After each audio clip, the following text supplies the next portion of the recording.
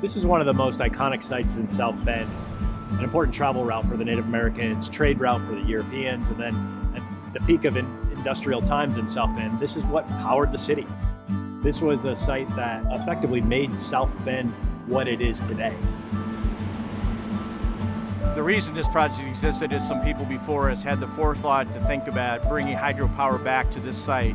Um, back in 1984 when they put in the fish ladder, the city and a consulting engineer working for them at his sort of recommendation pursued an exemption which they got from FERC. Having that made it a lot easier project for us to start.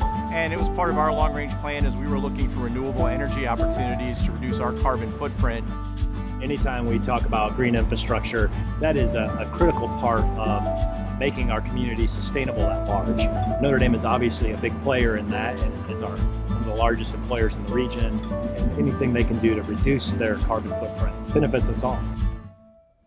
Water enters at the southern tip of the park. There's three tunnels, uh, 14 feet high, 16 feet wide, sitting side by side that channel that water down under the park around the fish ladder to where we have what we call a fine screen ahead of the turbines that keeps debris out, but also as a way to protect the fish that might choose to migrate upstream or downstream.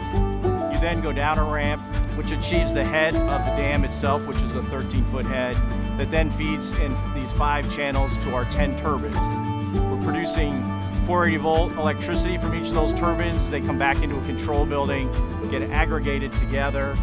We step them up outside with a transformer and have a transmission line that's about two miles long that goes back to campus and tie the power back into our grid there. It's projected that it'll produce about 7% of the electricity we use on campus and it'll account for about a 10,000 ton uh, CO2 reduction on an annual basis. So that's fairly significant for us. Anytime we get to partner with the University of Notre Dame on a project, we know it's going to be done right. Notre Dame doesn't cut corners, and so we're always pleased to look at efforts that are mutually beneficial for both Notre Dame and the city in, a way that moves us all forward. This is a great example of that. It's been a, a good partnership that will serve to benefit both the city and Notre Dame for generations yet to come.